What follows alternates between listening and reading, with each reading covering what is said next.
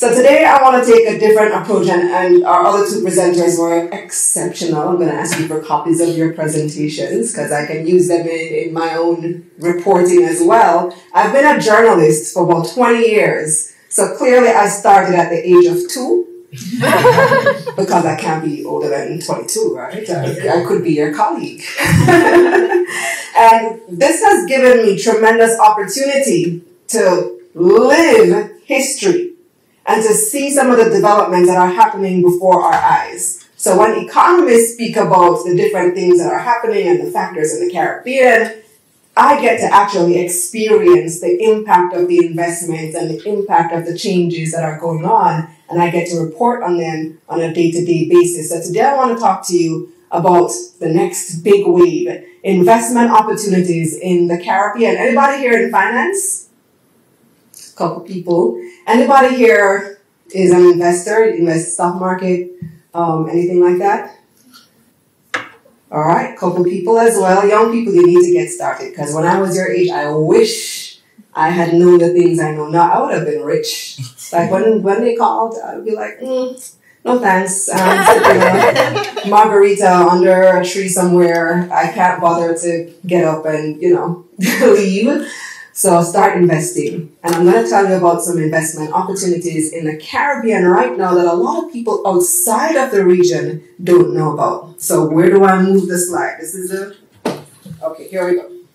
So starting with Jamaica, which is a very interesting case study in recent history and economic development. so for decades, Jamaica was the poster child of unsustainability, of high debt, of, you know, just, what is that? There's so many phrases when they talk about Jamaica. Um, people say, you know, I love living here, but there are all these issues in living here. All these social issues. The country is highly indebted and they have gone through multiple programs with the IMF to the extent that there's even been a whole documentary called Life and Debt, DEBT, focusing on Jamaica's tumultuous relationship with the IMF. And although we like to blame multilateral organizations like that for the island's problems and for some of the region's problems, we also have to acknowledge the role that our own governments and our own politicians and our own people have played in making it what it is. Of course, there's our colonial past, we can't not acknowledge that too. But also, there's been corruption, there's been some thieving of money, and there's been misappropriation. Back in the day, there was a politician named Omar Davies, Dr. Omar Davies, who was the finance minister of Jamaica for a period under the People's National Party, and his famous uh, phrase, his famous tagline was "Run with it," because money was rolling, even though the country was highly in debt. He still said, "Run with it," and that becomes famous. That became his famous tagline. And so the country had decades of very, very high debt to the point that by 2010, Jamaica's debt, Jamaica was the second most highly indebted nation in the entire world behind Greece. And the debt reached levels of 145% of GDP. Now, what does that even mean? So GDP, gross domestic product, is the total of everything that the country produces. So how much does, how much money does the country make in a year? So think of it like your annual salary. When you get a job, you make this amount of money. However, how much debt does the country have? So debt to GDP uh, measures how much debt they have compared to how much they make. So debt to GDP being at 145% means that they owed more than they made in an entire year, essentially. And as I think Dr. Lewis was the one, or it might have been um, Dr. Joe, is Jones? John. John. One of you guys mentioned, you know, what's the sustainable level is for debt. It's about 60%. And Jamaica was at 145%. And so after going through all these cycles and, you know, these programs with the IMF, and it just never works, including conditionalities, meaning you have to um, reduce wages for public sector workers, wage freeze, you have to um, put a freeze on new infrastructure so you don't have money to, to build and so on, to build schools and to fix roads. And there's so many things that the country had to do. And each time they went through this program, they failed. Partly because of the harsh conditions, right? But when you look at the numbers as well, all of this debt was not owed to these multilateral institutions as much as we like to blame them. So Jamaica's total debt at the time was 19 billion US dollars. But more than half of that, 10 billion, was actually owed to local investors. So you have your banks, your pension funds, your institutional investors, your ordinary people who invest in what they call government paper. Now, because the government was not the most reliable person to lend money to, because who knows, they might default because they have so much other debt, there's a high risk that they're not going to pay back. So in order to make government paper attractive to investors, what do they have to do? Anybody can guess? Our economics major? To make it attractive, what do they have to do? Raise the interest rates. They have to offer extremely high interest rates. And so interest rates in Jamaica on government paper, these are treasury bills, bonds, and so on, was as high as 25, 30, 35%. So you can earn a ridiculous return by investing with the government because they're a terrible client. And because I'm not, I don't want to risk my money with you because you might not pay me back. So for me to take that risk, you have to offer an extremely high interest rate. But what was the impact of that? The impact of that is that now institutional investors, banks and so on are saying, well, why should I invest in the local economy? Why should I invest in your business? Why should I even lend you money to build a house or buy a house when I can just get 25% interest rate from the government by buying government paper? And it became extremely expensive. Mortgages were expensive. Business lending was expensive. And that situation is called crowding out. So because the government offered such extremely high and unsustainable uh, offers, government paper, they crowded out investment in other areas of the economy. So now I can't get a business loan because why would they lend to me when they can just get 25, 30% interest back from the government, crowding out. And let's also mention that at the peak of Jamaica's debt problem, debt servicing was 50% of the budget. 50% of the budget. So now, out of all the money I make, I only have half to pay teachers, pay police, train doctors and nurses, and build roads and fix roads and build schools and all the other things that the government is responsible for doing. And the other half goes straight back to paying those ridiculous interest rates and paying back all the debt that the government owes. So at its peak, we had one trillion, that's Jamaican dollars, dollars in local debt.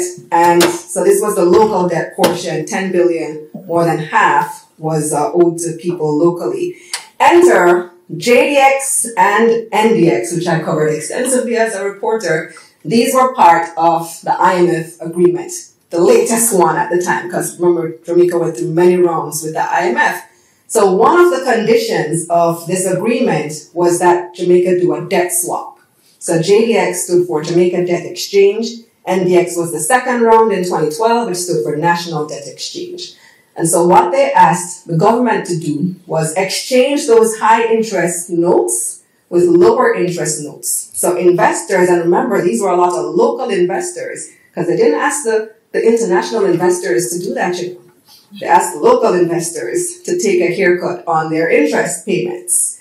And so that was one of the conditions. They said that you have to freeze public sector wages and so many different things that the government had to implement. But guess what? It actually works this time. It finally worked. Who knew? And Jamaica suddenly became the poster child for the IMF, saying, okay, if we implement IMF reforms, this is what can be the result after decades of uh, you know fighting this fight. It finally begun, began to work.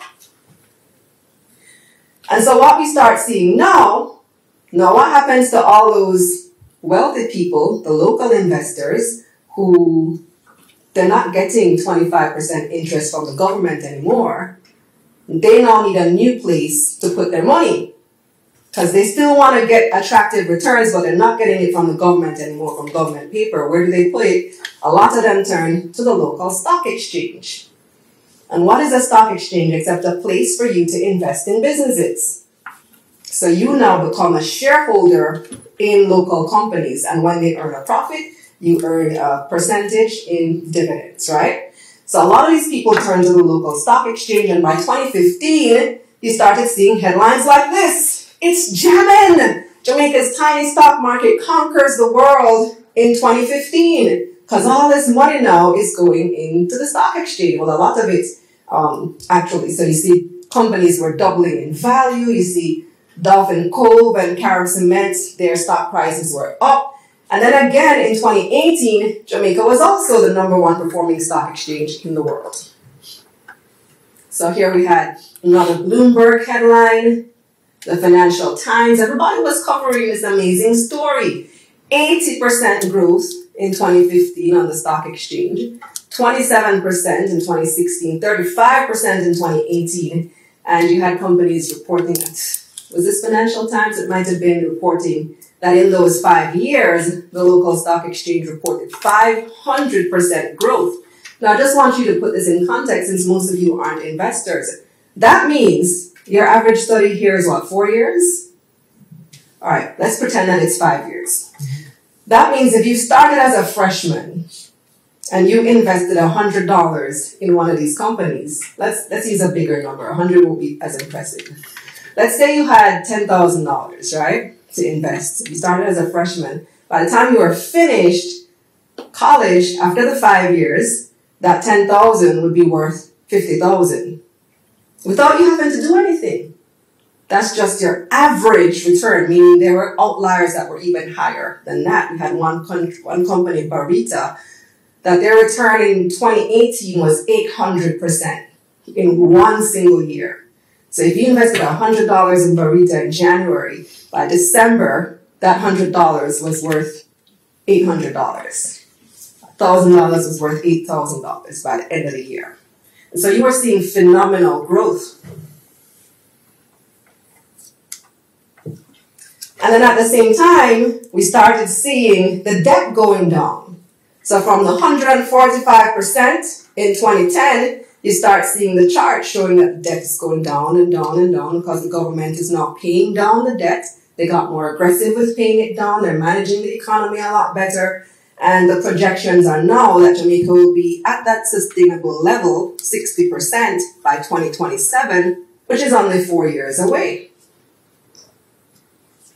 And then we also see unemployment sliding to record lows. We're now at 4.5%, so it's lower than what the chart actually shows which is good for us. Might not be good by US numbers, but for us, it is good because we've seen unemployment at 15%.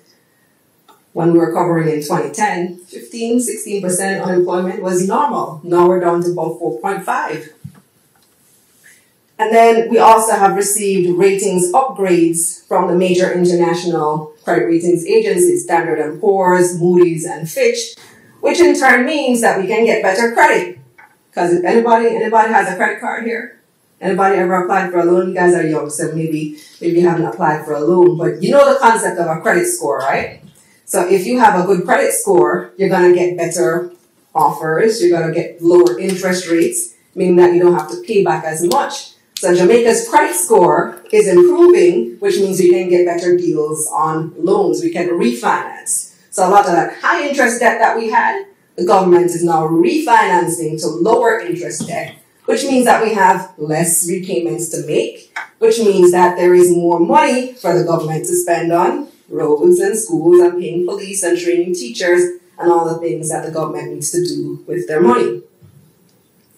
And it's been it's been quite a ride witnessing the economic change in Jamaica so being there to see physically the landscape change, to see the buildings go up that didn't exist. You said this lot used to be empty. Now there's a multi-story building going up. Jamaica still does have a lot of problems, but I can genuinely say that I see improvements being made. And now we see young entrepreneurs aspiring to list on the local stock exchange.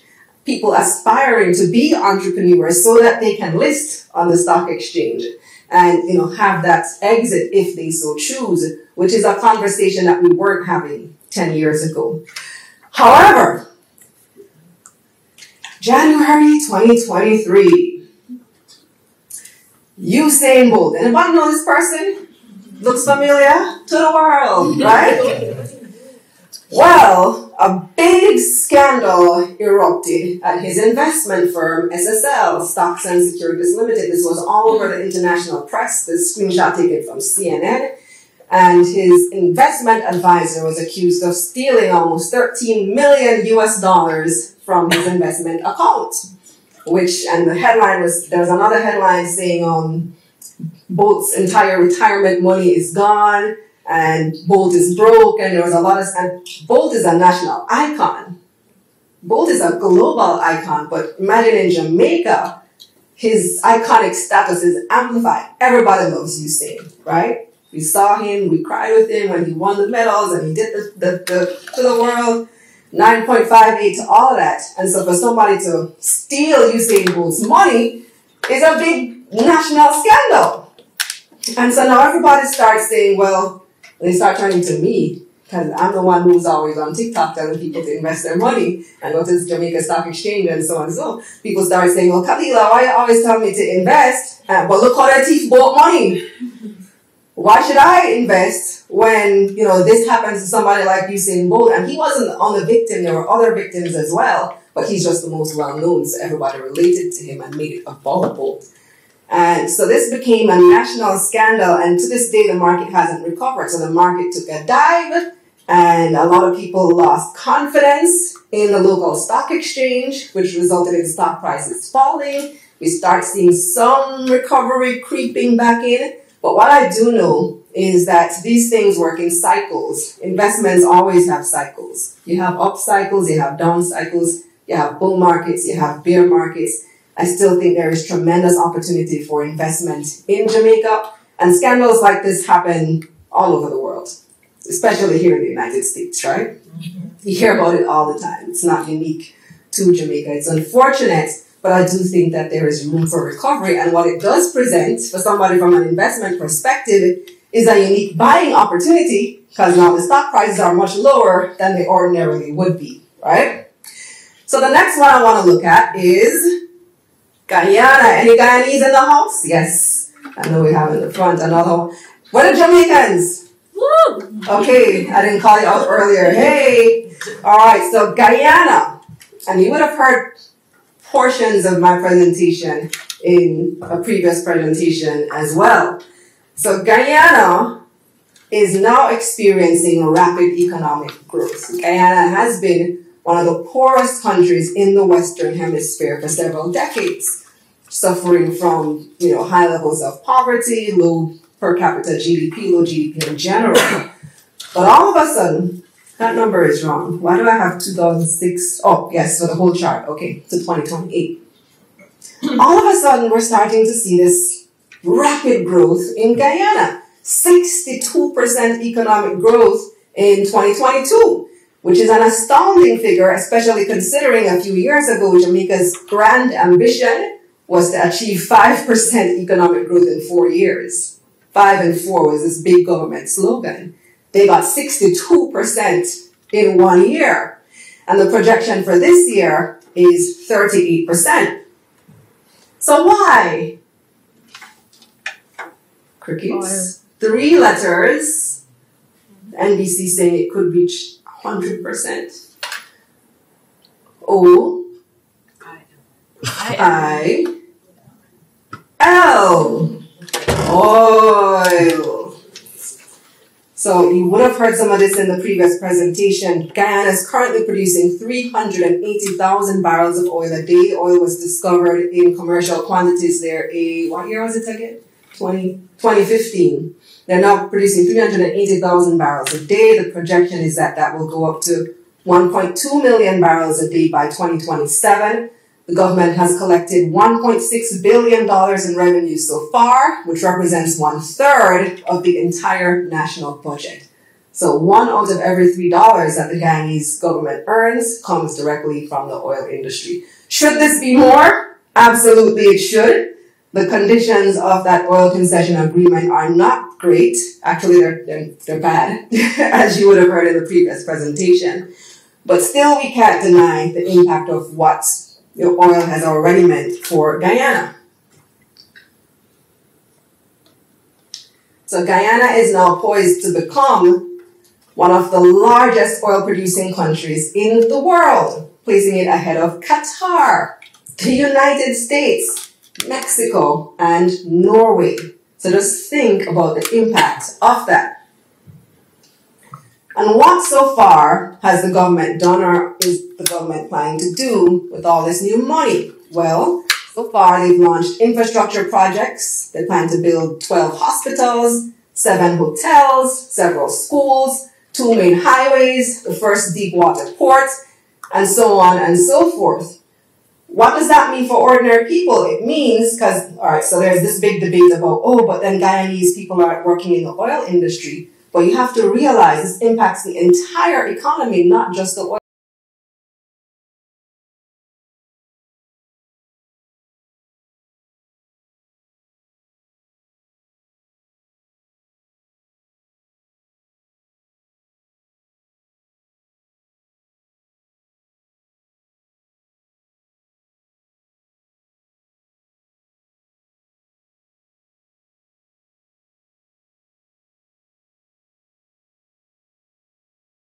Because they don't have many opportunities at home for good paying jobs. So they come to places like the United States to find better jobs.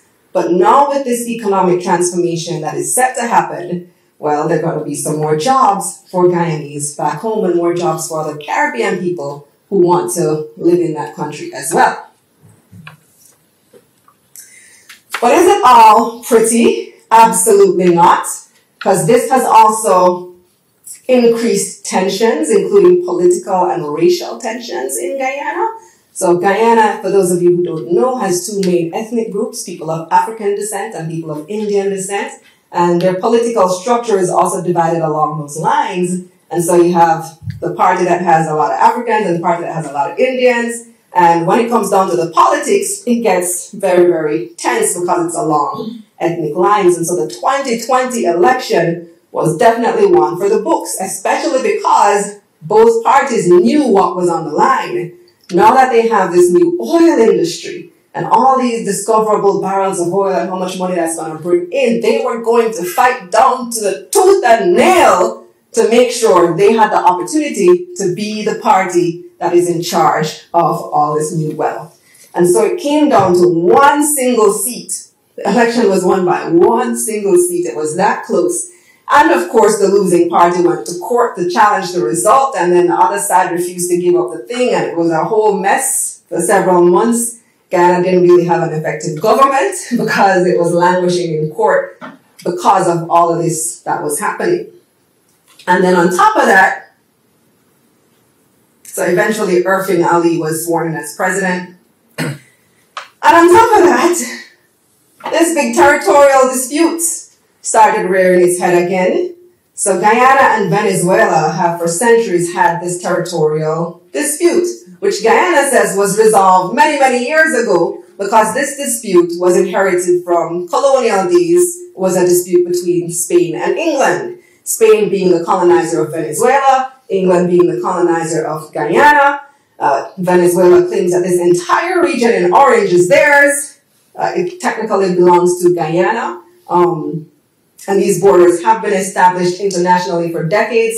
Yet Venezuela still claims this region. And why, of course, do they claim this region now? Why, why all of a sudden they come back with this claim? Because of the oil. Venezuela is also a major oil producing state, which should have been an indication, Dr. Lewis, that there is likely oil in Guyana. And Grenada. And, oh, Grenada too? Oh, Grenada. Oh, Look, look how close they all are. Trinidad, that little boot right there is Trinidad. Trinidad is oil producing. Venezuela have oil. So of course, in the in the concession agreements and the prospecting agreements, it should have been better written in Guyana's favor because the chances of finding oil were, were high, given that all its neighbors also have oil.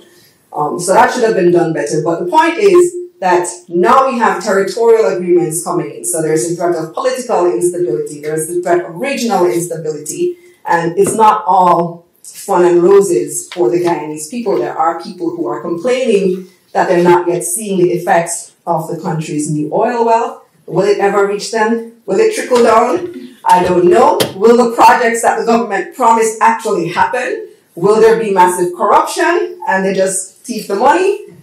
Let's see what happens. But I do believe that there are opportunities in both of these countries, a lot of economic opportunities, especially for those of you Caribbean students here who, you know, you came directly from the Caribbean and you're considering whether you should stay here or go back home after you finish your collect your pretty Princeton degree. Um, there are some opportunities for you. So I'm going to leave it there. Thank you very much for having me. This question is for any of the panelists. Each of you has very, very brilliantly outlined the problems and the and and what one should not do as a as a small state in our region. Can you perhaps suggest a model that might work? The only one I can think of right now, and again, the scale is very different, is Rwanda, mm-hmm. which has decided that it is not going to have certain um, international incursions into its economy. But you may have other models that might be more helpful towards the Car- to the Caribbean? I'm looking at the economists in the room. a model that might work. No, I, I think, I think that we should think about a model together. Mm-hmm. I think we should go about this differently rather than, you know, as I said, to people, start with what you think people value, right? And I don't know if it's investment, so the few people who have money who can invest in the stock exchange and, you know, get more money so the GDP looks great. But then, as Tanisha says, most of the GDP went to two people, right? Mm-hmm. So that, there's a question of what do you look at to judge prosperity? Mm-hmm. But Belize gives an, is a good example. Leave the oil in the ground. Who is benefiting most from the oil? ExxonMobil has made the highest amount of profits in this 150 years of operation in Guyana. The Guyanese government, yeah, it's got money. What? What the GDP? A quarter? One third. A third, but it still has to borrow money for the investment. So it hasn't been reaping that windfall that Exxon is is is um, reaping, and may never do that based on the mounting costs, especially as they expand more, more oil fields. We are also looking at the exploitation of the seabed, right? Which Jamaica has already run ahead in this new mood of Jamaican doing well to form a company to help explore the seabed to, to um, mine it in a context where we don't know the effects of these things. I just want us to be more thoughtful and mindful. And my charge to you is not to think about making money. Of course, we all want a good and decent life, but think about what a good life should be. Think about other people. Are we invested in models that have a few people at the top?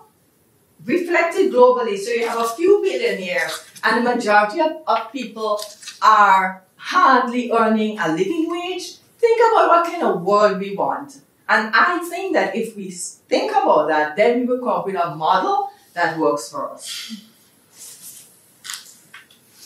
So we have some slightly different difference, some slight differences of opinion. Um, one, looking at the Belize model, because I'm from Belize and I studied Belizean politics and economics as well. I guarantee you that if the scale of the oil that was found in Belize was on the scale of what was found in Guyana, they would be digging up the whole of Belize right now. I, gu- I guarantee that that is it. So the scale of the oil that was found in Belize in what about 2008 thereabouts, 2005 I think it was, um, was nowhere near that scale. It was a very small quantity. And if it was a huge scale, I don't know that our leaders would have been as altruistic to say leave the oil in the ground. Now, when it comes to stock market investing and the pursuit of personal wealth and economic growth and economic development, I take a different approach because I used to be that person who said, um, I don't want to be rich. I don't, I don't need to be wealthy. I just want to be happy. But as you grow up and you start paying bills, and you realize how much health insurance costs, and how much a mortgage costs, and how much it costs to have your own vehicle, it and how much it costs to come to Princeton. I mean, you realize that you kind of need to be a little wealthy in order to, to enjoy these things and that. And this is not even living an extravagant life. Just buying a regular house these days, you need to be rich to do. Just buying a regular vehicle, coming to a nice university, having your kids be comfortable. Health insurance is something here in America that you kind of need to be wealthy to access. And so that's why I encourage people to start investing to create personal wealth and generational wealth as well. And there's this big misconception that um, investing is only for wealthy, for the rich people. That's not true because investing is actually how you get wealthy. It's how you become wealthy. In Jamaica, for example, you have most of the stocks listed on the stock exchange cost less than 100 Jamaican dollars each, which is $7 US. You can buy one stock and start and go from there. It doesn't require wealth to purchase 10 stocks of NCB which is the largest commercial bank in the company, and become an investor and a shareholder and receive dividends and be able to reap the capital appreciation. So I believe in terms of an economic model that works, I believe stock markets investing, for example, and having regional stock markets and maybe integrating more of our regional stock markets is a way that can lead to economic development for all of us because A, it helps the individual create personal wealth for themselves and their families. B, it gives access to capital to businesses that need capital to grow and develop. And then in turn, C, those businesses pay taxes to the government, which gives the government more revenue. Thank you so much. That is a lot to think about. Um, we are running a little bit late and I want to make sure we have time for lunch. So we're going to take one more question and then we will wrap up. Speakers first Can I just respond back to that question as well? Yes. I will be fast in my response because Guyana and Jamaica are being spoken about, and then also some of the things that were mentioned were included in my initial presentation, but since I knew I was being long winded, I couldn't address it. One, between 2021 and 2022, ExxonMobil made $6 billion from the oil it extracted from Guyana and gave the government $500 million. They made $6 billion with a B and gave the government $500 million. Effectively, that was zero dollars since Guyana had to cover the research and associated costs with the ExxonMobil fine. And so that is why in Guyana you have had for the past six years sustained protests against the oil industry from indigenous people, African people, and Indian people in Guyana. And so I think that that is very important because currently environmental laws in Guyana that are the most progressive in South America are being challenged by ExxonMobil, aided by corrupt politicians in the country and they are going up to the international court soon, and so that is something that people should be looking out for. Second, is that in Jamaica, as in a lot of other Caribbean countries, you do have it where local debt, aka private debt, is very high. However, that local designation is false and only exists because it is labeled as private. National Commercial Bank in Jamaica, for instance, since you have Canadian banks pulling out of the region, is seen as a national Jamaican bank. However, the interim CEO is a Canadian from Scotiabank CEO Group. And so these local designations are false because the major shareholders continue to be foreigners outside of the Caribbean region. And second, if we want to think about a model that might work for the Caribbean, we have to center the people first and see what they want. Why is it that we're saying Guyana is now the richest GDP in the Caribbean? And most of the people in Guyana say that oil is not going to help them. A survey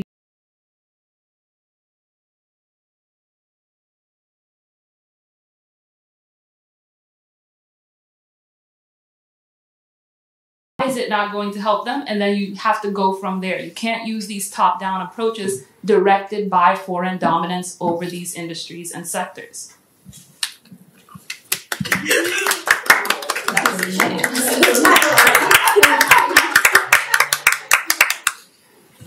Uh, yes, you can ask your question. So I really, really appreciate this um, discussion, and unfortunately, the mic landed on me, and I probably won't be quick. But Professor um, Lewis, your central question in terms of um, what are the principles that we want to adhere to when we think about what development and what growth in our, region looks like? I know that there, um, one of the, the amazing things about this, this panel is the, the kind of tensions that have just come out in, in the discussion. And I'm gonna um, chalk that up somewhat to uh, Kalilah being 22. I'm gonna stick to the age you gave because um, and this this I'm, I'm fascinated by it because this is what my dissertation research is, is centered on. Um, looking at the way that uh, the type of uh, Caribbean principles for development that were being uh, discussed as like original and indigenous to the Caribbean in the 1960s have to find other means of reemerging after the 1980s because of the dominance of globalization as development and structural adjustment policies. And I'm looking at it from the literary lens and how the Caribbean women writers are crafting these principles because the discussions are happening, they're just not always happening in front of us. But I also think that what Kalilah is getting at that is very relevant to everybody in, in this room is the way that there is very limited opportunity. And so I think that there needs to be a straddling of the both and. We cannot neglect personal um, prosperity because it is so easy for every generation behind millennials, I'm a millennial, to slip into actual abject poverty. And this extends across America and the Caribbean. And I think that's probably the tension that is emerging. But at the same time, one of the things I appreciate about Dr. John and Dr. Lewis is that the structures that have caused these slippages cannot just remain. So we can't actually be individually invested in our, our prosperity alone because what we're going to do is take from the, the continuing generations, right? And so the, the, the, cycle is going to continue because the very structures that we are investing our money in are structures of foreign direct investment that benefit foreign institutes and companies and don't quote unquote trickle down to the rest of, of the Caribbean. So it's important that if we are invested in, if the IMF is invested in democracy, what are the Guyanese voices saying? And there is a very popular movement against oil extraction in the country. So we can't just have the conversation on one front. Anyway, the actual question I wanted to ask was the, the possibility of developing our own metrics that speak to some of the things that um, Professor Lewis was, was indicating in terms of or dominant models of development and mainstream development discourse prioritize market expansion, foreign direct investment, and extraction. Extraction through um, mining and extraction through um, uh, privatization and um, tourism, which is a, a, kind of extraction from the region. Is there a way for us to develop our own indicators that account for the fact that mining from the ground is actually taking a, a resource that, that, is, that is limited? that oil extraction threatens the entire Guyanese ecological system, which is extremely important because the Amazon is the breathing heart of, of the world and part of the Amazon is in Guyana. And so the, the idea that we can speak about these things as solely good things because we don't have our own economic indicators and we don't have our own economic language or development discourse to, to kind of reframe the, these things is a part of the problem and probably the tension that's happening on this um, panel. So, what would be the indicators that each of you would come up with in if we had to have our own, say, GDP? What what are, what are some of the indicators that we could come up with that could can reflect our values?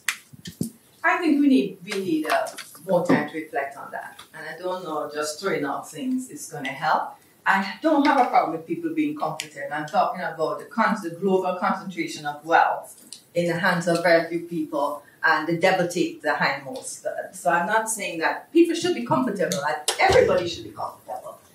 But coming to your question, and I don't want to answer the way you ask it, but if you think about bauxite in, in, in Jamaica, how did the bauxite people get companies make money and the people who found the land and owned the land from generations didn't? because the inequality is baked into the colonial agreement they inherited, which they haven't changed, which says that you only own the soil. You don't own what's beneath it, and it, and you don't own what what is above it. So they could move ordinary Jamaican people off the land and just give it up, compensating them for the bauxite underneath. So there are all of these ways in which people are shafted. Poor people are exploited that I think we need to start to see. Forget GDP. Let's when we talk about GDP, let's go to where GDP is going. We haven't looked at Jamaica's G- Gini coefficient yet. Mm-hmm. The Caribbean is among the most high, most in unequal countries in the world with Latin America. Right? So we have to, that's part of the picture. Mm-hmm. And it's how we read it. How do we read human development? The world is in a bad way. Let me just say, if we're looking good. Because when it comes to education, they look at complete primary. Mm-hmm. Right? That's a low bar. Quality of education also doesn't come into the picture. Healthcare. How much of us have access to quality healthcare in the region? So I think that we need, again, we need to have a sense of what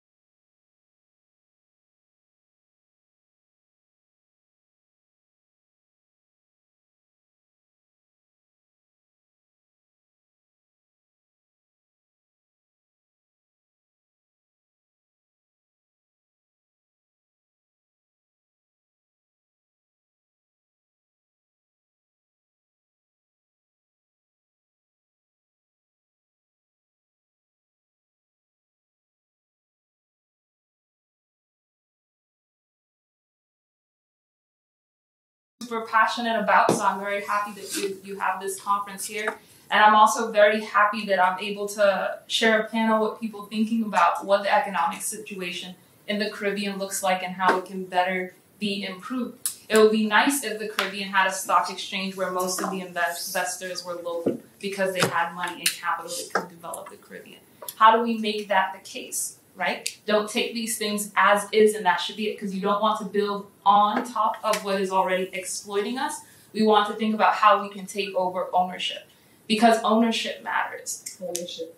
So on, on her point of ownership and also to piggyback on, on the previous comment, one of the things that we need to do in the Caribbean is to own the value add. So one of our big problems is that we have all these natural resources that are being extracted and moved somewhere else, but then the other people own the value add. So the raw petroleum isn't primarily valuable until you convert it into fuel and natural gas and all these amazing products. Uh, raw bauxites, what do you do with that? Well, when you convert it into aluminum, now it's an extremely valuable product that can build airplanes, right? But we don't have the resources now to own the value add. We don't own the value add. So we sell the raw product, and the person who converts the raw product into the, the valuable thing is the person who makes the lion's share of the money.